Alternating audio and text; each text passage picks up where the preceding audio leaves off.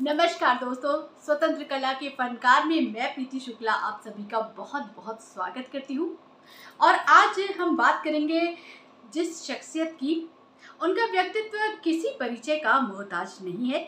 उत्तर प्रदेश में जन्मे भारतीय पॉप और रॉक गायक जिनकी शैली भारतीय लोकगीत से प्रभावित है, वो है हम सबके चहेते कैलाश खेर, जिनका जन्म 7 जुलाई 1973 में हुआ था। कैलाश खेर को संगीत मानो विरासत में मिला था। उनके पिता पंडित मेहर सिंह खेर पुजारी थे और अक्सर घरों में होने वाले इवेंट्स में ट्रेडिशनल फोक सॉन्ग गाया करते थे। कैलाश ने बचपन में पिता से ही संगीत की शिक्षा ली थी। कैलाश जब तेरह साल के थे, तभी वे संगीत की बेहतर शिक्षा लेने के लिए घर वालों से लड़कर दिल्ली आ गए थे।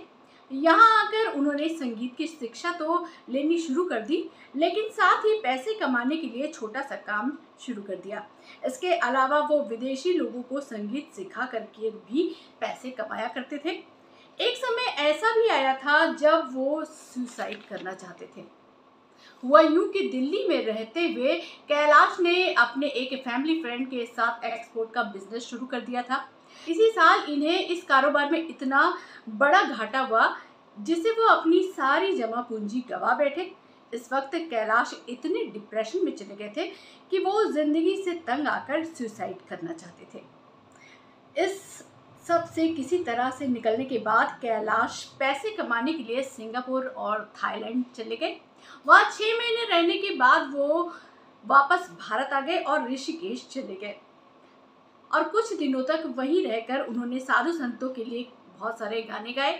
कैलाश के गानों का असर ये था कि कोई भी बड़े से बड़ा संत उन्हें सुनकर झूम उठता था। इससे कैलाश का खोया हुआ विश्वास वापस आया और वो मुंबई चले गए।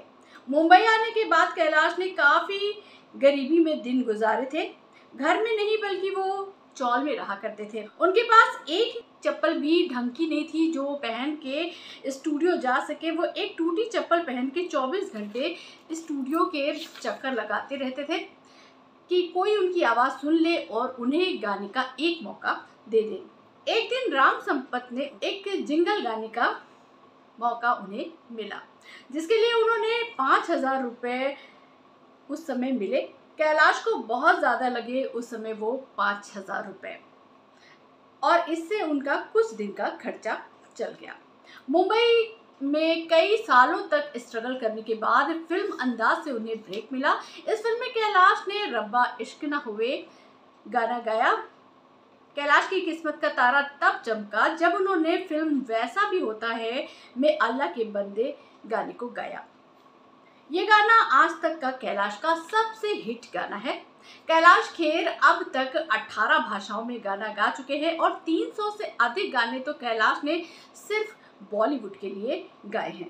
कैलाश को अपने गीतों के लिए दर्जनों अवार्ड मिल चुके हैं। कैलाश खेर ने कई खूबसूरत गाने गाए हैं, जैसे प्रीत की लत मुहे ऐसी लागी, हो गई मैं दीवानी, या तू जो झूले प्यार से, आराम से मर जाऊँ, आजा चंदा बाहों में तुझ में ही गुम हो जाऊँ। या एरी सखी मंगल गाओरी जैसे खूबसूरत गाने हमारे कैलाश खेर ने गाए हैं और आपको ज़रूर पसंद होंगे इनके गाने। आपका कौन सा फेवरेट गाना है जो कैलाश खेर ने गाया, हमें कमेंट में ज़रूर बताएँ। और कैसा लगा आपको ये एपिसोड ये भी हमें कमेंट में ज़रूर बताएँ। इसके साथ ही आज किस नए उभरते हुए सितारे से अब्दुल कभी हमें मिलाने जा रहे हैं, ये देखने के लिए सीधा चलते हैं उनके पास और देखते हैं कि आज कौन सा नया सितारा हमारे सामने आने जा रहा है। तब तक मुझे यानी प्रीति शुक्ला को इजाज़त दीजिए। नमस्कार। नमस्कार। शुक्रिया प्रीति जी। प्रीति जी, आपने जिस तरह से अब तक पुराने गायकार की आपने जो जीवनी बताई है उसके लिए बहुत सारे कमेंट्स आते जा रहे हैं और लोग उसको बहुत पसंद कर रहे हैं। तो इसके लिए मैं अपने दर्शकों की तरफ़ से आपको धन्यवाद देना चाहूँगा। और अब तक हमने आपको बहुत से कलाकारों से मिलवाया है। इसी इन्हीं कलाकारों की कड़ी में आज मैं आपको एक ऐसे छोटे कलाकार से मिलवाता हूँ, जो जिनको मैं छोटा नवाब कहूँगा तो शायद बहुत अच्छा लगेगा। छोटे नवाब, लेकिन उनका जो कारनामा है, उनका जो कला है, उनकी जो फनकारी है, वो छोटी नहीं है। बहुत बड़े फनकार आज मेरे साथ में मौजूद हैं। यूनित पुरी जी, जिनसे मैं आपको बात करूँगा और उनके आपको कुछ गाने सुनवाऊँगा। और मुझे विश्वास है, जिस तरह से आपने आज तक मेरे प्रोग्राम्स को पसंद किया है, इस तरह से आप मेरे यूनित पुरी जी का भी को अपना प्यार देंगे और बहुत सारे कमेंट्स और बहुत सारा प्यार यूनित पुरी जी के लिए। मैं बात कर रहा हूँ एक छोटे से बच्चे की, जो देखने में तो छोटा है, लेकिन उसकी आवाज़ ज़मीन से लेके फलक तक इस वक्त सुनी जा रही है। और बहुत सी लोगों की दुआएँ उस बच्चे के साथ में हैं। तो आइए हम बात करते हैं यूनित पुरी जी से। क्या नाम है बेटा आपका? यूनित पुरी पुरी जी ये आप जो गाने गा रहे हैं ये कितनी उम्र से गा आपकी क्या एज है एट एट ईयर्स और ये जो आपने गायन शुरू किया है कब से शुरू किया? फाइव फाइव ईयर से। तो इसके लिए आप कहाँ से शिक्षा ले रहे हैं? सर संगम विद्यापीठ। अच्छा आप मुझे से। हाँ आप मुझे ये बताएँ कि जब आपने ये गाना गाना कैसे सोचा कि आप गाना गा सकते हो? कहीं आपने पहले गाया किसी ने आपको मोटिवेट किया किसी ने आपको सराहा किया बहुत अच्छा गाते हो आप गाना गा सकते हो। मेरे पापा ने मुझे मोटिवेट किया। हम्म। मुझे बचपन से ही शौक था सिंगिंग का।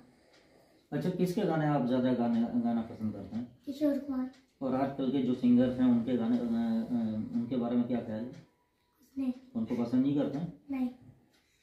अच्छा कौन सा गाना सबसे फेवरेट है आपका? मेरे सब गाने फेवरेट है। अच्छा अभी आप कौन सा गाना सुनाना चाहेंगे? मैं पहले मैं पग घुंगरू बाँध सुनाना चाहूँगा गाना ओके। पग घुंगरू बाँध यह गाना एक बहुत कठिन गाना है लेकिन इस बच्चे ने कहा है कि मैं पग पग घुंगरू बाँध के सुनाऊँगा मैं सुनता हूँ और आपको भी सुनाता हूँ। सुनिए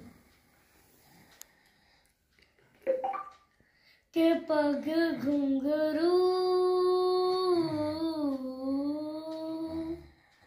के पग घुंगरू बाँध, मीरा नाची थी। के पग घुंघरू बाँध, मीरा नाची थी। और हम नाचे बिन घुंघरू के। के पग घुंघरू बाँध, मीरा नाची थी। वो तीर भला किस काम का है? जो तीर निशाने से चूके चूके चूके रे के पग घुंघरू बाँध मीरा नाची थी।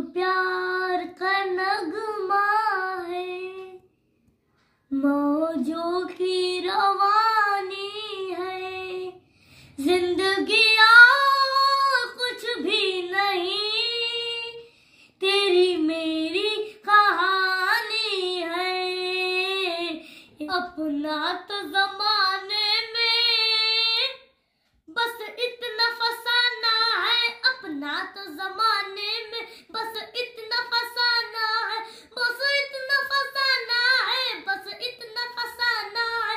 कुछ हम भी दीवाने हैं, कुछ दिल भी दीवाना है। तो ये थे योनितपुरी जिनको आपने सुना। पूत के पाँव पालने में नज़र आते हैं, मैं कह सकता हूँ इस बात को। इस आठ साल की उम्र में इस बच्चे ने जो भी गाना सुनाया, जो टैलेंट है, वो काबिल तारीफ़ है। और मैं इस बच्चे को स्वतंत्र प्रभात की तरफ़ से बहुत बहुत शुभकामनाएँ देता हूँ और मैं उम्मीद करता हूँ कि आने वाले समय में ये बच्चा आसमान में गायकी का एक सितारा बन के चमकेगा। अब मैं आपकी मुलाकात करवाता हूँ योनित पुरी के पापा अंशु पुरी जी से, क्योंकि घर में सिंगिंग का एक माहौल है, वो भी बहुत अच्छे गाने गाते हैं। तो मैंने सोचा आप लोगों को उनकी आवाज़ भी सुनाई जाए इस समय मेरे साथ में है और ये मौका मैं छोड़ना नहीं चाहता हूँ। मेरे दर्शकों को एक अच्छी आवाज़ और सुनने को मिलेगी। तो अंशु जी, मैं आपसे रिक्वेस्ट करूँगा कि आप एक सॉन्ग कोई अपना जो सबसे फेवरेट सॉन्ग है, वो आप सुना देख के तुमको दिल डोला है। गॉड प्रॉमिस हम सच बोला है, ओ हमको तुमसे हो गया है प्यार, क्या करे? बोलो तो जिए, बोलो तो मर जाए, हमको तुमसे हो गया है प्यार, क्या करे? जी, आपकी आवाज़ तो बहुत अच्छी है और आपने ये कब से शुरू किया अपना जो सिंगिंग का प्रोफेशन था या आप जो गाने का शौक आपको कहाँ से लगा? देखिए मेरा बेटा गाता है और ऐसे ही उसको उसके बाप से जो चीज़ें मिली, मुझको भी मेरे पिताजी से जो है, मेरे पिताजी को भी मुकेश के गानों का बहुत शौक था। और मेरे घर में शुरू से ही बचपन से जब मैं साढ़े तीन चार साल का था, मेरे पास ग्रामोफोन था, तब ग्रामोफोन ही चलते थे उस समय। और मैं पिताजी को गुनगुनाते सुनता था और ग्रामोफोन पे गाने सुनता था। धीरे धीरे जो है, मुझे इतना ज़्यादा गानों का शौक हुआ, जुनून हुआ सुनने का, कि मुझे सारे गाने, मेरी यादाश्त बहुत कमज़ोर है, मैं आपको बताना चाहूँगा। लेकिन गाने अगर मैंने कभी भी सुने हैं, आज से 20 साल 30 साल भी पहले तो वो गाने आज भी मुझे पूरे पूरे रटे और यही जो जुनून था म्यूज़िक का, ये धीरे धीरे मुझे गाने और फिर मुझे गज़लों का शौक हुआ, जगजीत सिंह में स्पेशली जो है मुझे बहुत सी गज़लें सब याद हैं। और धीरे धीरे क्या हुआ कि लखीमपुर में कई म्यूज़िक के प्रोग्राम्स होते थे। उनमें जो है, मैं सहभागिता करने के लिए गया था, लेकिन मुझे वहाँ पर जो है, मेरे नॉलेज को देखते हुए उन्होंने मुझे जज की भूमिका दी। और ऐसे धीरे धीरे करके मैंने लखीमपुर में बहुत से म्यूजिकल प्रोग्राम में लगभग 10 से 12 साल तक का जज की भूमिकाएँ निभाई हैं। और मैंने अपने बच्चे में शुरू से ही जो देखा वो साढ़े तीन, चार साल का था, और वो भी मेरे साथ गुनगुनाता था तो मुझको लगा कि इसको जो है, मुझे पूरी तरीके से म्यूज़िक में सिखाना चाहिए, क्योंकि बच्चे का अगर इंटरेस्ट है तो उसको उसी लाइन में भेजना चाहिए। और मैंने स्वर संगम विद्यापीठ में श्री शीतांशु तिवारी जी, जिनका मैं बहुत बहुत धन्यवाद दूँगा, जिनके पास मैं लेके गया, और मेरे बच्चे को उन्होंने जिस तरीके से निखारा है, वो आज आप लोग के सामने है कि वो लखीमपुर के बहुत से प्रोग्रामों में उसने जो है पार्टिसिपेट करा, और फ़र्स्ट भी आया है। और उसने आज शहर में उसका नाम है। और एक बाप के लिए ये इससे ज़्यादा खुशी की क्या बात होगी कि आज मुझे लोग यूनिट का पापा के नाम से संबोधित करते हैं और लोग मोबाइलों में जो नंबर फ़ीड करते हैं वो यूनिट के पापा के नाम से फ़ीड करते हैं। ये एक पिता के लिए बहुत ही गर्व की बात है। और मुझे बड़ा अच्छा लगता है और आप लोग का आशीर्वाद और प्यार अगर इसी तरीके से बना रहेगा तो जल्द ही यूनिट को एक संगीत में एक अच्छा सा रास्ता मिल जाएगा। तो ये थे अंशु पुरी जी, जिन्होंने बताया कि इनके घर में संगीत आज से नहीं, इनके पापा और अब ये और अब इनका बेटा। सबसे देखने वाली बात यह है कि बच्चों को अगर माता पिता का सपोर्ट है माता पिता का पूरा सहयोग है तो वो बच्चा अपने मुकाम को, अपनी मंजिल को आसानी से पहुँच जाता है। इसके साथ ही मैं आपको बहुत बहुत धन्यवाद बोलूँगा और मेरी तरफ़ से, मेरे चैनल की तरफ़ से आपको बहुत बहुत शुभकामनाएँ। धन्यवाद, मैं ये स्वतंत्र प्रभात जी जो आपका चैनल है, मैं इसको जो है, जो मेरे बेटे को जो रिप्रेजेंट करा है आपने, मैं इसके लिए जो है आपके न्यूज़ चैनल का बहुत बहुत आभारी हूँ और मैं उसे धन्यवाद देता हूँ।